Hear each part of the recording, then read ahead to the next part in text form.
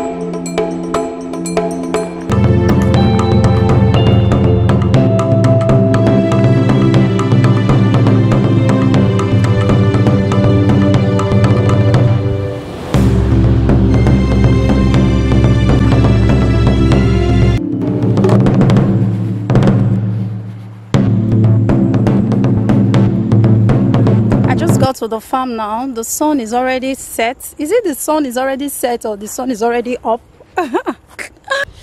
I still have a few minutes away from where I'm going to. You know, the farm has different parts. It has the parts they have plants, and the other parts they rear animals. So today I'm going to be going to the part they rear cows. Is it cow or cattle? I can't even remember. But when we get there, so that's the part I'm going to right now. It's still a few minutes away from the place. So let's be going.